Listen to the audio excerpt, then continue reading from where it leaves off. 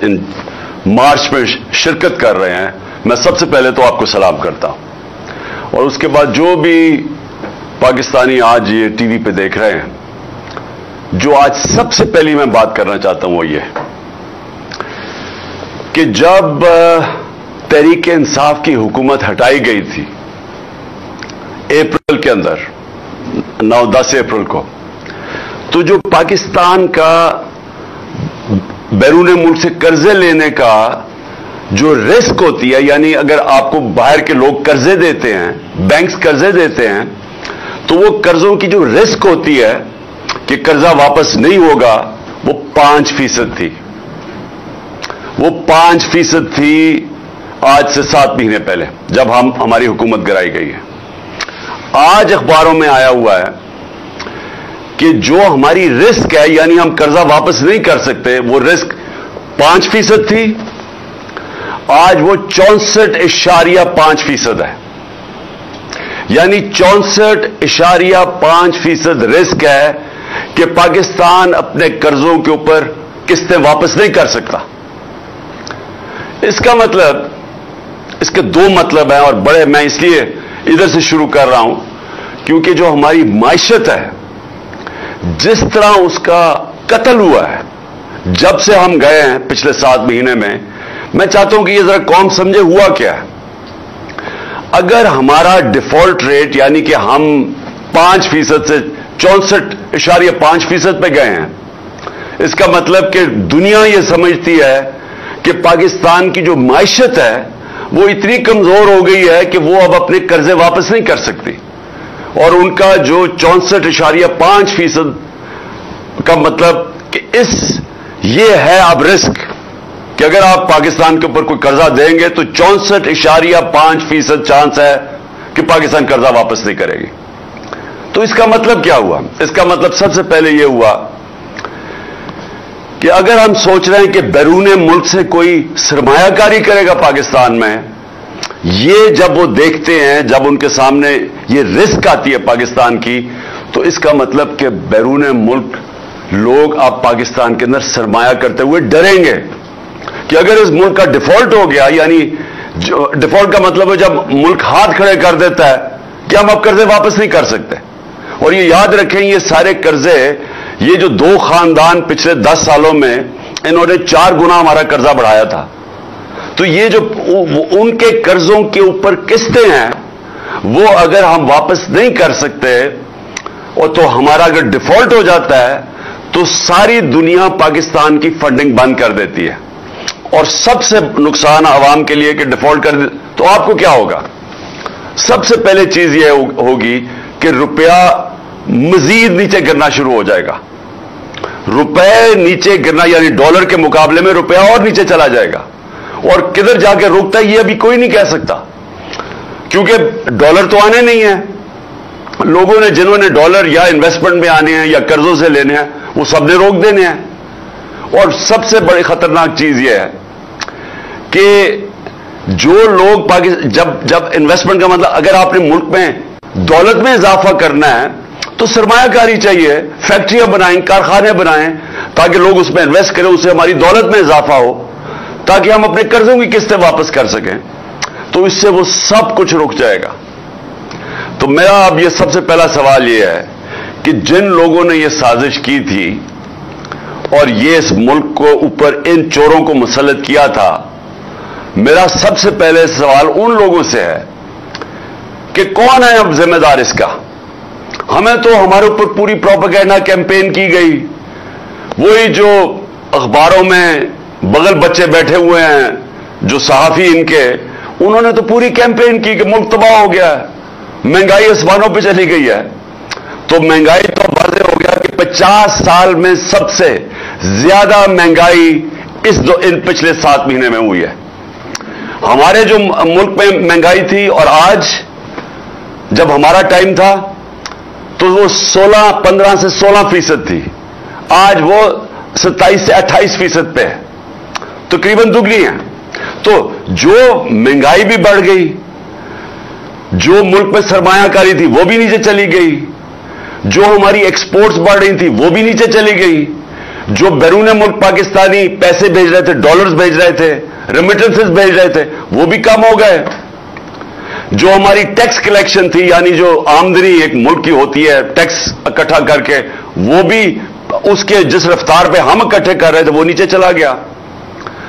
اور میں آج آپ کے سامنے پاکستان کی اکنامک سروے پاکستان کی اکنامک سروے ہوتی ہے کہ ہر سال ایک شائع ہوتی ہے کہ ملک کی معیشت کے حالات کیا ہیں۔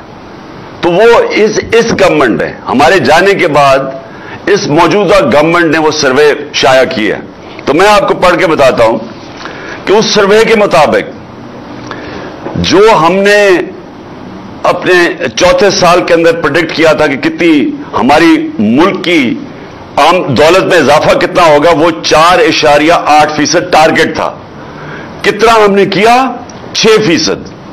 یعنی جو جس رفتار پہ ہماری حکومت کے دور میں ملک کی دولت میں اضافہ ہوا، وہ ہم نے سوچا تھا چار اشاریہ آٹھ ہوگا، وہ چھ فیصد ہوا۔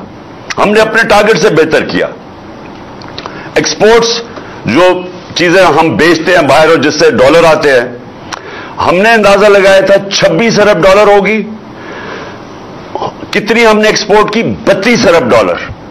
پاکستان کی تاریخ کی سب سے بڑا، سب سے زیادہ ایکسپورٹ ریکارڈ تھا یہ۔ تو وہ ٹارگٹ سے اس سے بھی اوپر گئے۔ یعنی یہ میں وہ چیزیں بتا رہا ہوں جس میں ملک کی آمدنی میں اضافہ ہوتا ہے، دولت میں اضافہ ہوتا ہے۔ لوگوں کو نوکریاں ملتی ہیں۔ یہ وہ میں چیزیں آپ کو موٹی موٹی بتا رہا ہوں۔ ہمارا جو زراعت تھا، ہم نے ٹارگٹ کیا تھا کہ زراعت میں جو اضافہ ہوگا، وہ تین اشاریہ پانچ فیصد تھا۔ اور کتنا اضافہ ہوا؟ چار اشاریہ چار فیصد۔ کچھ سترہ سال کے بعد سب سے زیادہ تیزی سے ہماری زراعت بڑھی تھی۔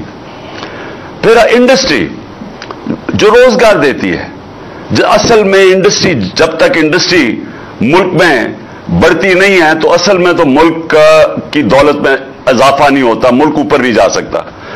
تو ہماری ہم نے ٹارگٹ سیٹ کیا تھا چھ اشاریہ چھ فیصد، آخری سال کی بات کر رہا ہوں۔ اور ہوا کتنی انڈسٹری کتنی تیزی سے بڑھی؟ نو اشاریہ آٹھ فیصد۔ اپنے ٹارگٹ سے اوپر گئے ہم۔ سروسز سیکٹر اور اس کے اندر آئی ٹی بھی ملا لیں۔ تو سروسز میں چار اشاریہ سات فیصد ٹارگٹ سیٹ کیا، چھ اشاریہ دو فیصد پہ ہم نے ہمارے گروتھ ہوئی سروسز میں۔ اور آئی ٹی جو کہ مستقبل ہے، ٹیکنالوجی، اس میں چھبیس اشاریہ نو فیصد ہمارا بڑا یعنی جو فیوچر پہ سب سے جو ہم نے زور لگایا کہ ہماری آئی ٹی جو فیوچر ہے، اس میں ریکارڈ اضافہ ہوا۔ اور بجلی کی اچھا یہ سمجھنے کی بات ہے کہ جو بجلی ہے اگر ہم انہوں نے جو ہمارے پہلے یہ جو یہی نون لی کی حکومت تھی، انہوں نے جو کانٹریکٹ سائن کیے ہوئے ہیں بجلی کے، جو کمپنی سے کانٹریکٹ سائن کیے ہیں، چاہے ہم بجلی خریدیں یا نہ خریدیں، ہمیں پیسے دینے پڑتے ہیں۔ جو بجلی گھر سے انہوں نے کانٹریکٹ سائن کیے ہیں، جو اگر ہم جتنی مرضی، اگر ہم بجلی کم بھی استعمال کرتے، پیسہ پورا دینا پڑتا ہے۔ تو اس کے لیے ہم نے کیا کوشش کی کہ انہوں نے جو کانٹریکٹ سائن کیا، انہوں نے اضافی بجلی بنا دی۔ ہمارے پاس وہ، ہمارے پاس اس وقت جب جب ہماری حکومت آئی تو ہم وہ اس کو استعمال ہی نہیں کر سکتے تھے، کیونکہ کیپیسٹی نہیں تھی۔ تو ہم نے کوشش کی کہ بجلی کی کنزمپشن بڑھے انڈسٹری کو ہم نے انسینٹوز دیے۔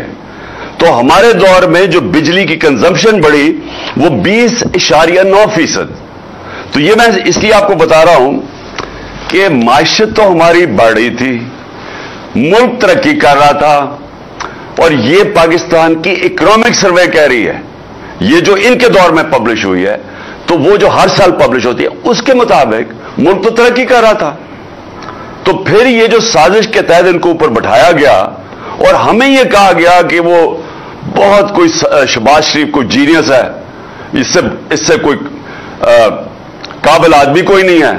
اس کو اوپر آ کے بٹھا دیا۔ اور اس کے بعد وہ جو بھاگا ہوا تھا ملک سے، بھاگے ہوئے تو سارے ہی تھے، تو اس کو خاص طور پہ لے کے اسحاق ڈار کو۔ اس نے آ کے آگے کہا کہ میں موڈیز کو ٹھیک کر دوں گا۔ اس کے بعد وہ گمی ہو گیا۔ اور یہ جو آج آپ کو میں بتا رہا ہوں کہ اگر اس کا مطلب دنیا پاکستان کیا دیکھ رہی ہے، ہم نہیں کیا کیسے کہہ رہے میں نے ویسے چھ مہینے پہلے اپنی قوم کو بتا دیا تھا کہ جو تیس سال دونوں حکومتیں مل کے کرتے رہے ہیں اور ان کے تیس سال میں ہندوستان بھی آگے نکلا ہمارے سے، بنگلہ دیش بھی ہمارے سے آگے نکلا۔ ہم نوے کی دہائی تک پاکستان ان دونوں سے آگے تھا۔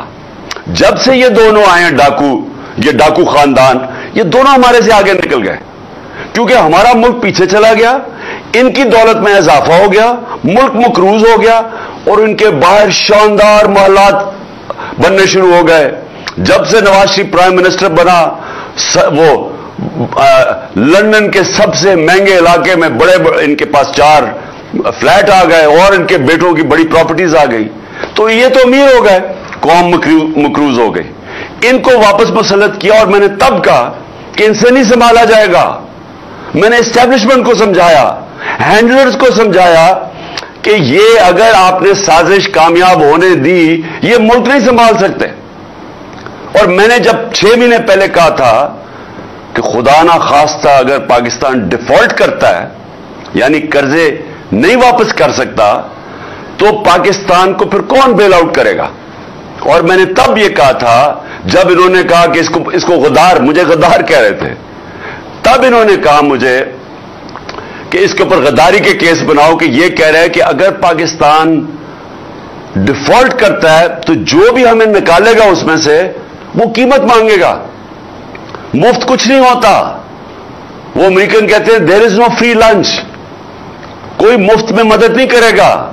اور جو وہ قیمت ہمارے سے مانگیں گے میں آج پھر اپنی قوم کے سامنے کہہ رہا ہوں کہ وہ ہمارا جو سب سے ہماری نیشنل سیکیورٹی کا سب سے بڑا اثاثہ ہے، اس کے پیچھے جائیں گے وہ۔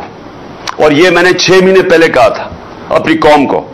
اور آج جدھر ہم اب کھڑے ہیں، یہ جب سے چور اوپر بیٹھے ہیں، یہ ہمیں ادھر ہی لے کے جا رہے ہیں۔ لیکن وہ نواز شریف کو کوئی فرق نہیں پڑے گا کہ اگر ہم اپنی نیشنل سیکورٹی پہ کمپرومائز کر دیں۔ کیونکہ اس کے تو پیسے باہر پڑے ہوئے ہیں۔ وہ تو جب موقع ملتا ہے باہر بھاگ جاتا ہے۔ جب وہ پرائم منسٹر تھا، اس نے تیئیس نجی دورے کیے لندن کے۔ میں پرائم منسٹر تھا ساڑھے تین سال۔ میں میرے تو بچے باہر تھے۔ میں تو ایک دفعہ بھی نہیں کیا، حالانکہ دو دفعہ مجھے دعوت ملی انگلینڈ آنے کی۔ کیونکہ میں ہمیشہ سوچتا تھا کہ میں تب باہر جاؤں، ہمارا ملک غریب ہے، ہم مکروز ہیں۔ میں کیوں ملک کا پیسہ خرچ کروں جب تک کہ میرے ملک کو میرے دورے سے فائدہ نہیں ہوگا؟ یہ سرکاری خرچے کے اوپر پرائیویٹ دورے کیے اس نے لندن کے، تیئیس دفعہ یہ لندن گیا۔ زرداری پچاس دفعہ دبئی گیا، نجی دوروں پہ۔ اور یہ لندن کیا کرنے جاتا تھا؟ پیسے وہاں ہیں، دولت وہاں ہیں بزنس وہاں ہیں، بیٹوں کو وہاں بسا دیا ہے، برطانیہ کے وہ شہری بن گئے ہیں۔ وہ آرام سے وہاں بیٹھے ہیں۔ جو جس کے اوپر کرپشن کیس ہوتا ہے، وہ وہاں بھاگ جاتا ہے۔ اسحاق ڈار باہر بھاگ گیا ہے۔ اس کے بیٹے باہر ہیں۔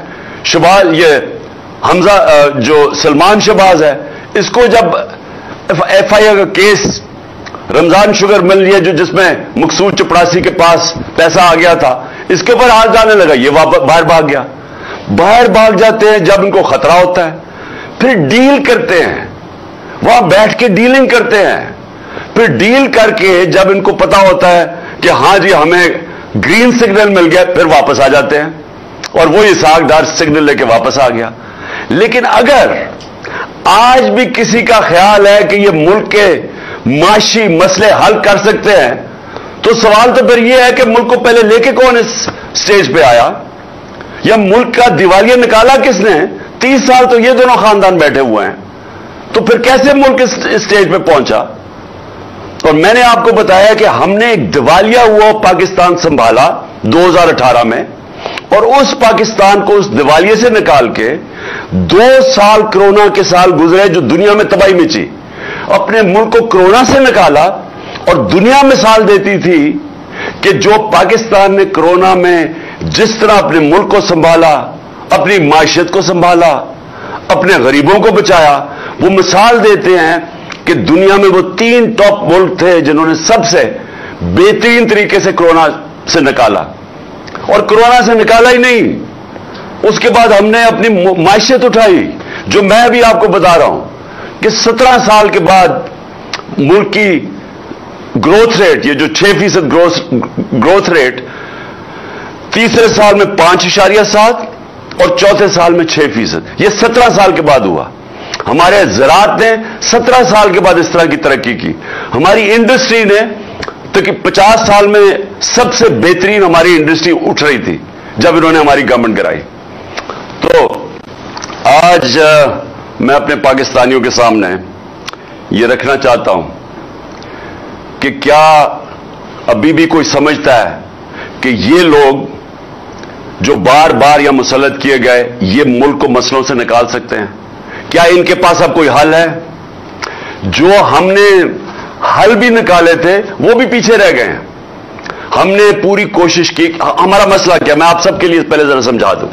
ہمارا مسئلہ یہ ہے کہ کس ماضی میں کسی نے زور نہیں لگایا کہ ملک کی دولت میں اضافہ کیا جائے ایکسپورٹس بڑھا کے۔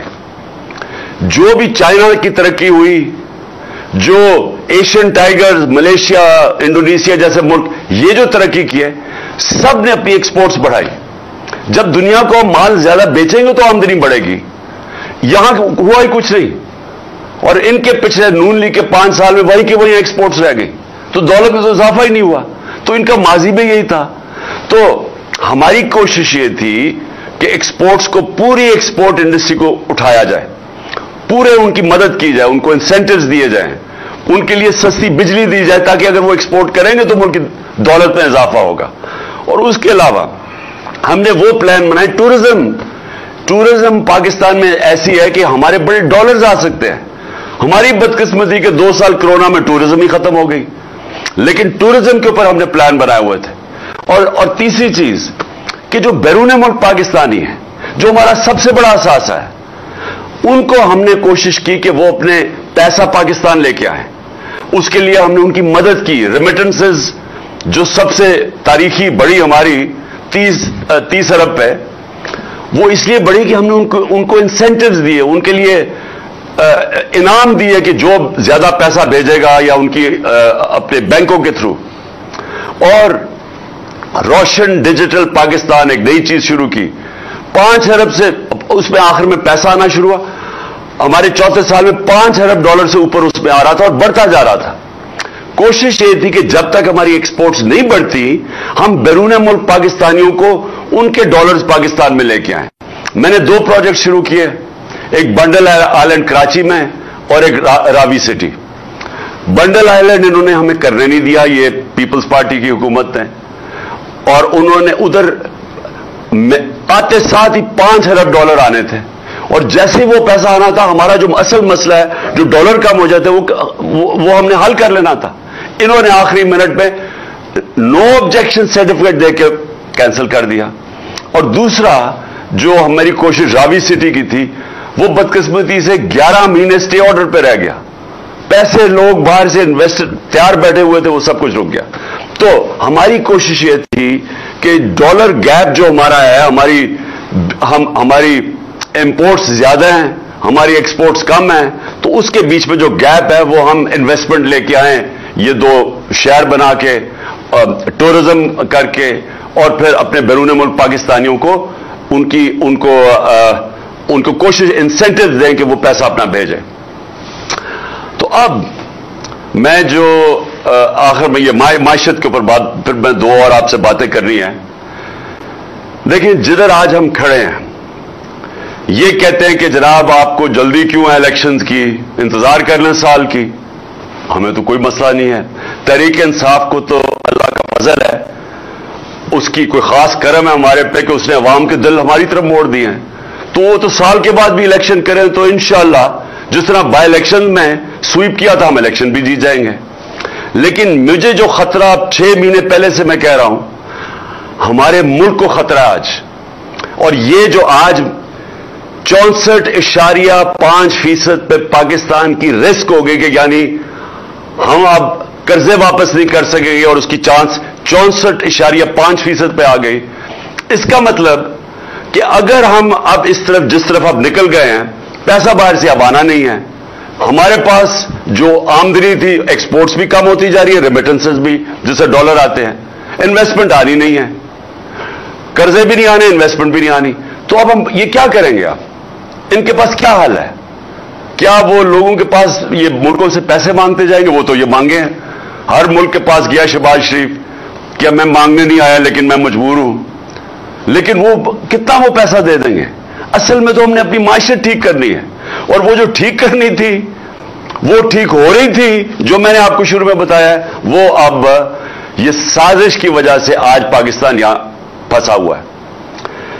دوسری بات میں نے آج کرنی ہے جو میں ہمیشہ یہ جو تحریک جس میں ہم سارے مارچ اسلام آباد کی وجہ اس کی کیا ہے؟ حقیقی آزادی حقیقی آزادی آتی ہے انصاف سے۔ جس ملک میں انصاف ہوتا ہے، وہ انسانوں کو آزاد کر دیتی ہے۔ انصاف، اور یہ سب کو میں بار بار کہتا ہوں، کیونکہ لوگوں نے رول آف لا یعنی قانون کی حکمرانی پاکستان میں دیکھی نہیں۔ میں نے بھی نہیں دیکھی تھی۔ میں جب پہلی دفعہ برطانیہ گیا، تب پہلی دفعہ مجھے پتا چلا کہ انصاف اور قانون کی حکمرانی کیا ہوتی ہے؟ تو قانون کے اوپر کوئی نہیں ہوتا۔ تو یہ جو آج پاکستان کے مسئلے ہیں، یہ معیشت کے بھی مسئلے، یہ سارے پھنسے ہوئے ایک چیز کے اوپر۔ انصاف کے اوپر، انصاف نہ ہونے کی وجہ سے، قانون کی حکمرانی نہ ہونے کی وجہ سے۔ لوگ غلام ہیں، ایک نظام کے غلام بن چکے ہیں۔ کیونکہ کمزور آزاد نہیں ہے یہاں، اور طاقتور قانون سے اوپر ہے۔ تو یہ جنگل کا قانون ہے۔ جنگل کے قانون کے اندر خوشحالی نہیں آ سکتی۔ سو یہ جو میں آپ کو معیشت کے بتایا ہے، یہ اصل میں ہماری ملک میں خوشحالی، معیشت تب ٹھیک ہوگی جب ہم اپنے انصاف کا نظام ٹھیک کریں گے۔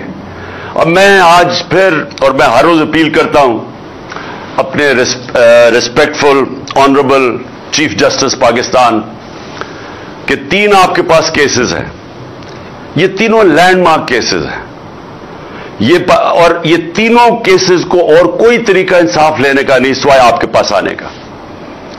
ارشد شریف، پاکستان کا نمبر ون انویسٹیگیٹو جرنلسٹ ایک محب وطن پاکستانی، ایک ایسا صحافی جس کے ضمیر کی کوئی قیمت نہیں تھی۔ دھمکیاں دی گئی، ڈرایا گیا ایف آئی آر کاٹی گئی، ملک سے باہر بگایا گیا اور پھر قتل کیا گیا، شہید کیا گیا۔ چیف جسٹس صاحب، اس کے لیے آپ کے سامنے ہمارے سارے ممبرز پارلیمنٹ سینیٹرز انہوں نے آپ کے سامنے پٹیشن رکھی ہے۔ دوسرا آزم سواتی، یہ بھی ایک لینڈ مارک کیس ہے کہ ملک کے سینیٹر کو ایک ٹویٹ کے اوپر، جس میں وہ تنقید کرتا ہے جو ساری دنیا میں جس کی اجازت ہے، اس تنقید کے اوپر اس کو، اس کے پوتے اور پوتیوں کے سامنے اندر گھس کے گھر کے اس کو صبح کے تین بجے ان کے سامنے مارا جاتا ہے۔ اور پھر اس کو حوالے کیا جاتا ہے۔ اس کا جو آزم سواتی نے نام لیا، جو دو نام لیے، فہیم اور فیصل، ان کو، ان کے آدمیوں کو جو ننگا کر کے اس کو تشدد کرتے ہیں۔ کدھر سے انصاف ملے گا؟ اس لیے آپ کے پاس آئے ہیں چیف جسٹس صاحب۔ اور تیسرا میرا کیس ہے۔ ملک کا ایکس پرائم منسٹر، سب سے بڑی پولیٹیکل پارٹی کا ہیڈ وہ پاکستانی جو پچاس سال سے یہ قوم جانتی ہے جس کو، اس کے اوپر کاتیانہ حملہ ہوا ہوتا ہے۔ پہلے سے بھی میں کہہ دیتا ہوں، مجھے پتا ہوتا ہے، میں اس کے اوپر دو تقریروں میں آج سے ڈیڑھ دو مہینے پہلے بتاتا بھی ہوں کہ یہ انہوں نے کرنا ہے۔ کہ دینی انتظام پسند نے غصے میں آ کے اس کو قتل کر دیا۔ یہ پوری سازش بنی ہوئی تھی۔ میں تین نام لیتا ہوں۔ لیکن پولیس، پنجاب پولیس ہمارے نیچے کہ میری ایف آئی آر رجسٹر نہیں کرتی۔ First information report F I R. یہ ایک شہری کا بنیادی حق ہے۔ میں عام شہری کی بات کر رہا ہوں۔ لیکن وہ آدمی جو ایکس پرائم منسٹر ہے، اگر اس کو وہ حق نہیں دیا جا رہا، تو چیف جسٹس صاحب، یہ بڑا ہمارے لیے لمحہ فکر ہے۔ یہ ایکچولی رول آف لا نہ انصاف نہ ہونے کا ایک آپ کے سامنے اس سے بڑا کیا مثال ہو سکتی ہے؟ کہ میرا یہ بنیادی حق تھا کہ میں تین لوگ، جو میں سمجھتا ہوں اس میں ملوث تھے، ان کے اوپر نام لکھوں۔ انویسٹیگیشن ہوگی۔ ہو سکتا ہے بے قصور نکلا ہے۔ میں غلط ہوں۔ لیکن ہے تو میرا حق۔ تو ہماری حکومت ہوتے ہوئے پولیس نے کہا جی ہم نہیں کر سکتے کیونکہ وہ بہت طاقتور لوگ ہیں۔ پولیس ہمیں کیا کہتی ہے؟ پولیس وہ کہتے جی اگر کسی میں مجھے اس عہدے سے اٹھا دے، کسی اور کو بٹھا کے یہ کروائے، میں نہیں کر سکتا۔ وہ بہت طاقتور لوگ ہیں۔ تو یہی تو میں کہہ رہا ہوں۔ کہ طاقتور کے لیے ایک قانون، کمزور کے لیے دوسرا۔ میں بار بار لوگوں کو وہ نبی صلی اللہ علیہ وسلم کی حدیث اس لیے بتاتا ہوں کہ تمہارے سے پہلے بڑی قومیں تباہ ہوئی جب طاقتور جرم کرتا تھا، اس کو نہیں پکڑتے تھے۔ جو کمزور جرم کرتا تھا، اس کو اس کو سزا ملتی تھی۔ یہ ہے آج ہماری تباہی کا باعث۔ اگر ایک چیز ہماری تباہی کا سبب ہے، وہ یہ ہے۔ اور یہ ہم تین لوگ ہیں، وہ تو اور اس لیے چیف جسٹس صاحب، آپ کی طرف ہم دیکھ رہے ہیں کیونکہ ہمیں اور کہیں امید نہیں ہے۔ اور میں اس کے ساتھ ساتھ ایک اور چیز کہنا چاہتا ہوں۔ Election commission. الیکشن کمیشن نے کنٹمپٹ ہمارے اوپر کیا، میرے پہ، لوگوں پہ۔ ہم ڈیڑھ سال گورنمنٹ میں ہوتے ہوئے کہتے جا رہے ہیں کہ الیکشن کمشنر ایک ایجنڈا پہ ہے۔ یہ نہ تو صرف نون لیگ کے بڑا قریب ہے، اس کے ہینڈلرز بھی اس کو کنٹرول کر رہے ہیں۔ اور یہ ہمیں ٹارگٹ کر رہا ہے۔ آٹھ اس نے ہمارے خلاف فیصلے دیے، آٹھ دفعہ ہم عدالت میں گئے، آٹھ دفعہ عدالت نے ان کو ان کو رد کیا۔ اس کا مطلب اس کے فیصلے غلط تھے۔ اس کے اوپر الیکشن کمشنر یہ سکندر سلطان اور جو کراچی سے الیکشن کمیشن کا ممبر ہے، ان کے اوپر ہم عدالت میں گئے ہوئے ہیں، سپریم کورٹ میں گئے ہوئے ہیں۔ جو کراچی کا الیکشن کمشنر ہے، یہ سندھ گورنمنٹ کی تنخواہ دار ہے۔ یہ آزاد کیسے ہے اس کے اوپر ہم میرے خیال میں سپریم جوڈیشل کاؤنسل میں گئے ہوئے ہیں۔ اور یہ جو سکندر سلطان ہے، ہم نے اس کے اوپر بار بار کہتے رہے ہیں کہ یہ آدمی غیر جانبدار نہیں ہے۔ اور ہمیں عدالت واپس اس کے پاس بھیج دیتی ہے۔ جب اور اور وہ کیسے جج بن سکتا ہے؟ جب ہم، جب میں کہہ رہا ہوں کہ میں اس کو، یہ ہمیں انصاف ہی نہیں دے رہا، بار بار ہمارے خلاف فیصلے کر رہا ہے، یہ ہم، یہ ہمارے اوپر ججمنٹ کیسے دے سکتا ہے؟ آپ اگر عدالت میں بھی جاتے ہیں، تو اگر کسی کو جج کے اوپر اعتراض ہے، تو وہ ریکوز کر لیتا ہے۔ یہ بار بار ہمارے خلاف فیصلہ دیتا ہے، بار بار ہم عدالتوں میں جاتے ہیں۔ تو میری ریکویسٹ یہ ہے کہ جو ہم نے اس کے اوپر عدالت میں گئے ہوئے ہیں، تو وہ بھی تو کیس سن رہے ہیں۔ دو کیسز ہیں جس میں سے ہمیں پھنسایا ہوا ہے۔ ایک ہے foreign funding case foreign funding case میں سپریم کورٹ نے بھی کہا ہائی کورٹ نے بھی کہا کہ ہمارے کیس کے ساتھ ساتھ نون لیگ اور پیپلز پارٹی کے بھی فنڈنگ کیس دیکھیں۔ اس کے باوجود اس آدمی نے ابھی تک ان کے کیس نہیں کھولے۔ اور ہمیں بار بار ایک ایک فرول رہا ہے، کبھی کچھ کر رہا ہے، کبھی کچھ کر رہا ہے، اور میں پھر دعوی کرتا ہوں۔ جتنا آپ دیکھیں گے، ایک چیز ثابت ہوگی کہ صرف تحریک انصاف جو کہتے ہیں پولیٹیکل فنڈ ریزنگ وہ کرتی ہے۔ ریکارڈ صرف تحریک انصاف کے پاس ہے۔ چالیس ہزار ڈونر بیس ہمارے پاس ہے۔ تو ان سے تو پوچھیں کہ یہ پیسے کیسے اکٹھے کرتے ہیں؟ اسی میں آپ کو پتا چل جائے گا کہ یہ یہ کرپشن کے پیسے سے کھیلتے ہیں۔ یہ پہلے بڑے بڑے بزنس مین کو پیسے بنانے دیتے ہیں یا ان کے پارٹنرز ہوتے ہیں، پھر ان سے فنڈنگ لیتے ہیں۔ تو یہ تو، یہ ان کی فنڈنگ تو ہے ہی لیگل یہ بتا ہی نہیں سکتے کدھر سے پیسہ آیا۔ ان کا کیس ہی سن رہا اور ہمیں اس نے لٹکایا ہوا ہے اتنے سالوں سے۔ تو ایک تو فنڈنگ کیس اور دوسرا توشا خانہ۔ توشا خانہ کا کیس اس نے فیصلہ کر دیا کہ یہ عمران خان کو ڈسکوالیفائی کرو۔ عدالت میں تو پھر بھی ہم چلے گئے ہیں۔ اور میں گارنٹی کرتا ہوں، میں لکھ کے دیتا ہوں کہ جتنا آپ دیکھیں گے عمران خان، یہ ثابت ہوگا، کوئی غیر قانونی چیز نہیں کی۔ لیکن جنہوں نے غیر قانونی چیز کی اور نیب میں دس سال سے کیس ہے، ان کے کیس کیوں نہیں سنتا؟ آصف زرداری، یوسف رضا گلانی اور نواز شریف۔ یوسف رضا گلانی نے مدد کی ان کی۔ ان دونوں نے غیر قانونی طور پہ چار گاڑیاں نکالی۔ توشا خانہ سے مجھے بھی گاڑی ملی تھی۔ گاڑی آپ نہیں لے سکتے توشا خانہ سے، وہ غیر قانونی ہے۔ انہوں نے چار مہنگی مہنگی گاڑیاں لی۔ نیب میں کیس پڑا ہوا ہے۔ یہ الیکشن کمیشن کو کیوں نہیں سمجھا؟ کیوں نہیں وہ کیس اٹھا رہا؟ دیکھیں، الیکشن کمیشن غیر جانبدار ہوتا ہے۔ یہ غیر جانبدار نہیں ہے۔ تو پلیز ہمارے کیس سنیں جو ہم نے سپریم کورٹ میں اس کے خلاف کیے ہوئے میں ریکویسٹ کروں گا، کیونکہ اس سے ایک ایک انصاف کے نظام میں اعتماد ہوگا، ہم سب کو۔ اور آخر میں میں اپنے سارے پاکستانیوں سے، میں پھر یہ جو ڈرامہ ہو رہا ہے سارے ملک کے سامنے، کہ ایک مفرور سزا یافتہ جھوٹا، اور دوسری دفعہ جھوٹ بول کے بھاگا ہوا جو لندن میں بیٹھا ہوا ہے۔ میں یہ آج ساری قوم سے پوچھتا ہوں کہ یہ کیسے اس ملک کے فیصلے کر سکتا ہے۔ کیسے ایک قوم اجازت دے سکتی ہے اس آدمی کو کہ ہمارے فیصلے کرے؟ اور کون سا فیصلہ کرے جو ہماری نیشنل سیکورٹی کا سب سے اہم فیصلہ ہے؟ اور اس کا ماضی دیکھ لیں۔ اس نے آج تک میرٹ کا اس کا مطلب بھی نہیں پتا۔ یہ فیصلے کرتا ہے کہ اس کے مفادات کے اندر وہ اس کے مفادات کو آگے کیسے لے جا سکتے ہیں؟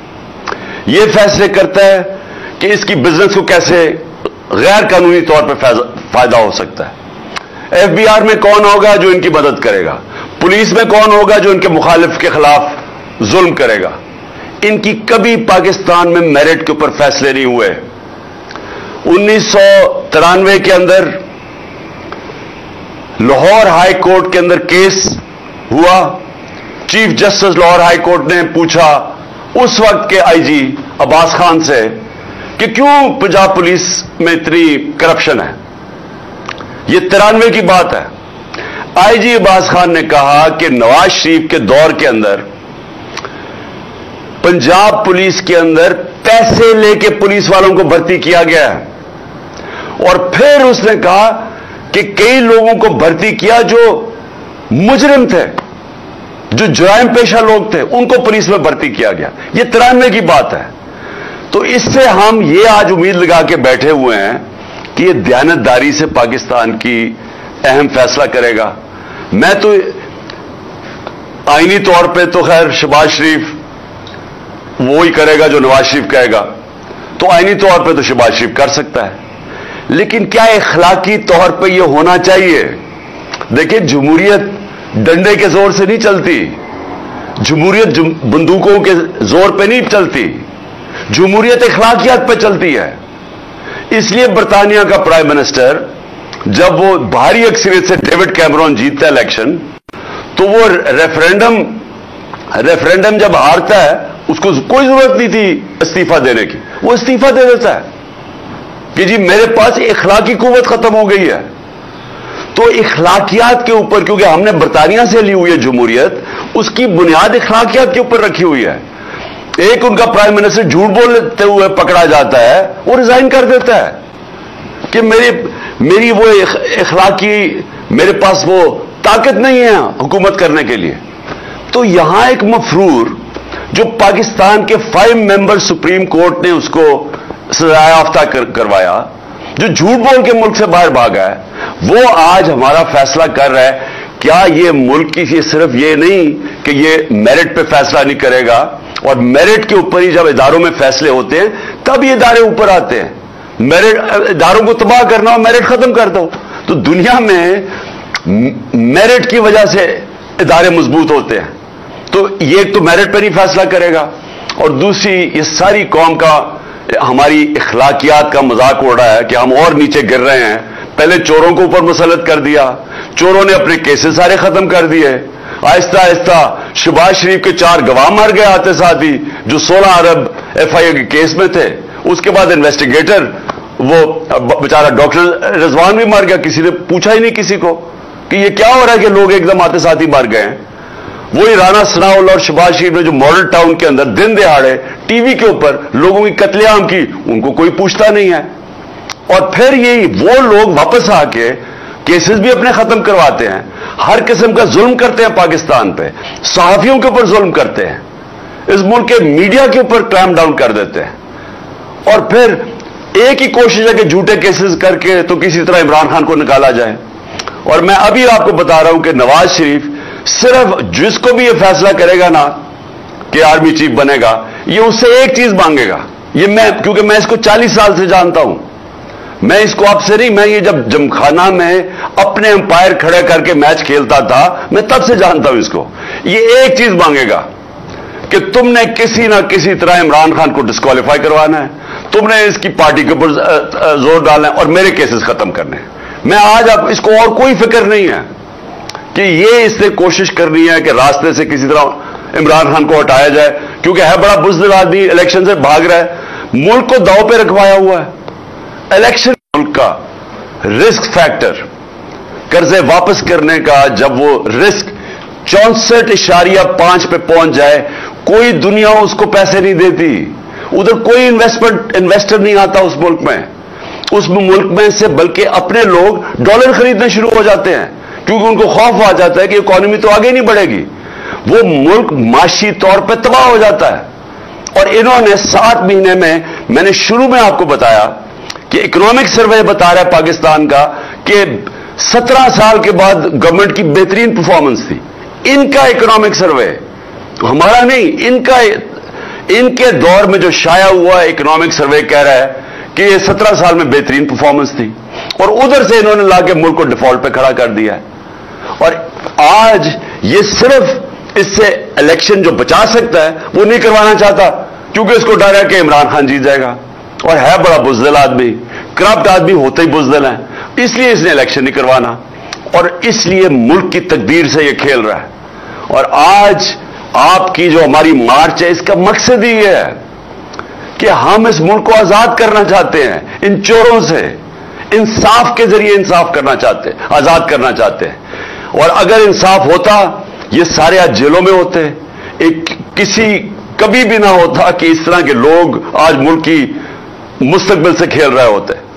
اور انشاءاللہ ہماری جو یہ مارچ ہے، جب یہ پنڈی پہنچے گی اور عوام آئے گی پنڈی میں، تو سب کو ایک پیغام چلا جائے گا کہ باشعور قوم ہے۔